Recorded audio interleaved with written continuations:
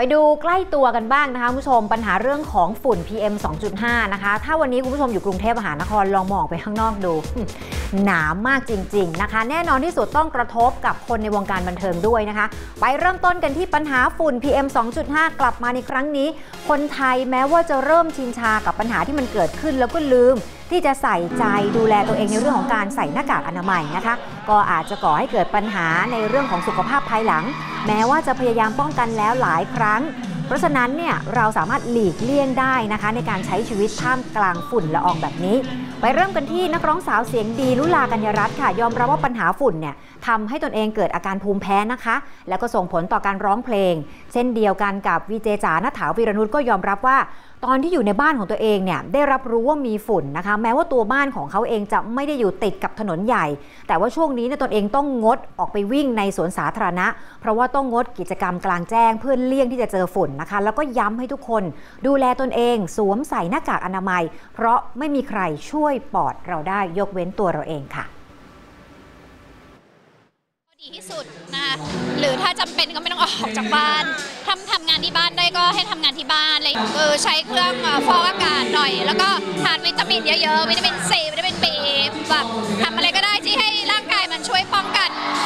เรื่องภายนอกให้ได้มากที่สุดเพราะว่าเรื่องระดับชาติเกี่ยวกับ pollution เนี้ยเราแก้อะไรไม่ได้เห็นใจนะคะเพราะเราก็เป็นภูมิแพ้ก็อยากให้ทุกคนดูแลตัวเองให้ดีที่สุดเดือนเดือนธันวาที่ผ่านมาคือเราลอง outdoor ทุกวันเป็นสาเหตุที่ทำให้เราเป็นภูมิ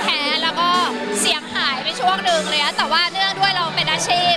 เป็นอาชีพของเราเราก็ต้องเหมือนแบบห้ามป่วยห้ามตายอะต้องทำให้ดีที่สุด ถ้าเกิดว่าใครที่ออกข้างนอกอะซื้อหน้ากากที่แบบ ตอนนี้คือแผ่นธรรมดาไม่พอแล้วนะต้องเป็นอันที่แบบมันล็อกติดอย่างเงี้ยบีบเข้าไปให้มันแบบเก็บหน้าหมดเลยอะค่ะคือยอมรับว่ามันไม่ได้ไม่ได้รู้สึกสะดวกนะ จริง ๆ แล้ว แต่ว่าถ้าเกิดมันไม่ทำอะคือมันไม่มีใครช่วยปอดเราได้แล้วอะจ๋ามองว่า เราเริ่มแบบแก้ปัญหาที่แบบปลายเหตุกันแล้ว แต่ว่าในในระหว่างเนี้ยนอกจากจะดูแลตัวเองแล้วอะเราก็หลีกเลี่ยงเนาะอะไรที่แบบเรารู้อยู่แล้วว่าที่นี่ที่นั่นมันน่าจะมีฝุ่นเยอะๆอะไรเงี้ยค่ะแล้วก็ตอนนี้ไม่ได้วิ่งเอาดอเลย อืมเสียใจจริงๆชอบวิ่งสวนมากเออ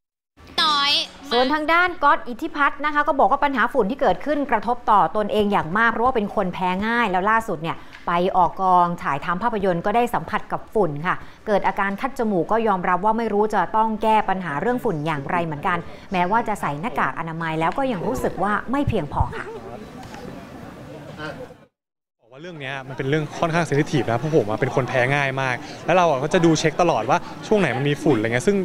วันที่ผ่านมาผมไปถ่ายละครเอ้ยถ่ายหนังมาที่สุโขทัยฝุ่นเยอะมากครับผมแล้วคือแค่ไม่กี่นาทีอะเราก็รู้สึกว่าคัดจมูกแล้วก็แบบ หายใจไม่ค่อยสะดวกแบบรู้ได้เลยว่าอย่างกินข้าวอย่างเงี้ยบางทีมันกินเข้าไปรู้สึกแล้วมันมีฝุ่นมีอะไรอย่างเงี้ยซึ่งผมรู้สึกว่าเฮ้ยมันมันมันมันทำลายสุขภาพเรามากแต่เอาจริงๆเราก็ไม่รู้เหมือนกันว่าจะปกแก้ไขมันยังไงเหมือนกันครับนี่ก็ใส่ครับใส่แต่บางทีมันก็เหมือนเอาไม่อยู่นะฮะบางทีก็ซื้อแบบเพื่อเครื่องฟอกอากาศติดไว้ในห้องบางทีแบบโอ้โหฝุ่นฝุ่นหนักมากอะไรเงี้ยอยู่ในห้องบางทีก็ไม่เปิดหน้าต่างไม่เปิดอะไรเลยอะไรเงี้ยครับ